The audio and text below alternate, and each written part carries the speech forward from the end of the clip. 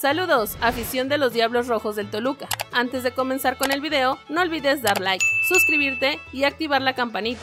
Sin más por el momento, iniciamos.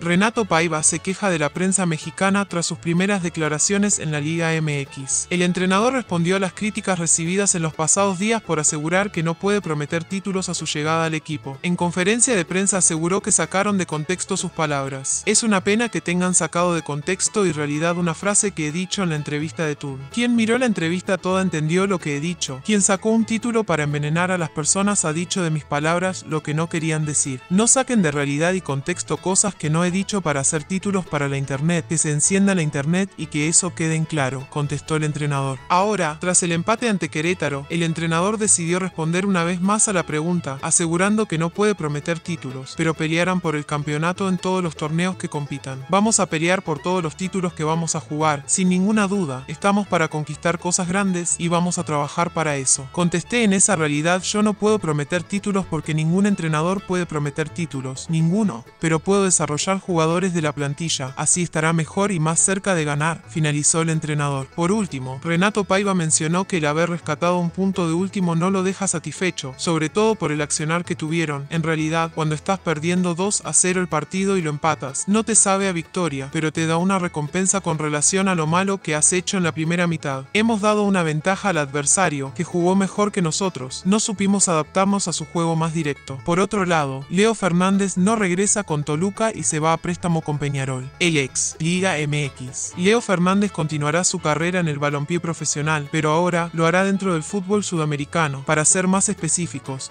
con el Peñarol de su natal Uruguay, luego de un exitoso paso con el Fluminense en el recién terminado 2023, donde dicho sea de paso ganó la Copa Libertadores, Toluca, quien mantiene aún su carta, lo ha prestado al conjunto charrúa. De acuerdo con información del especialista en fichajes, César Luis Merlo, Fernández llegará a Peñarol a préstamo por un año sin opción de compra en lo que será uno de los arribos más importantes para el plantel que dirige Diego Aguirre, por lo que la esperanza de volver al fútbol mexicano y verlo disputar dentro de los múltiples inmuebles que conforman la Liga MX. Es una opción viable todavía, con paso por el Balompié Azteca, en equipos como Tigres y Toluca. El volante ofensivo fue pretendido por diversos equipos durante el actual mercado invernal de fichajes. No obstante, los Escarlatas optaron por enviarlo a su tierra de origen y hacerlo parte de la plantilla de amarillo y negro durante los siguientes meses. Con 25 años, Leo Fernández vivirá su segunda etapa en el fútbol de Uruguay, donde nació, pues ya defendió los colores de Fénix, antes de arribar a México, donde ya no encontró cabida ni en Tigres ni en el Toluca. Por último, Club de Liga Pro va por el fichaje de Michael Estrada. El mercado de fichajes de Liga Pro continúa para los equipos del astillero y este viernes se conoció que uno de los mundialistas de la selección de Ecuador en Qatar 2022 podría poner regreso al país, Michael Estrada. El portal Ecuabol condió a conocer que Michael Estrada fue ofrecido. A Emelec y la directiva de José Pilegui lo está analizando para el 2024. Los azules aún buscan a un delantero centro pese a que ficharon recientemente a Facundo Castillo. El ecuatoriano sigue su mala racha de goles en el CSKA Sofía de Bulgaria y no vería con malos ojos regresar a la Liga Pro. En junio hasta tres clubes ecuatorianos lo contactaron para que regrese. Emelec, Liga de Quito, Y,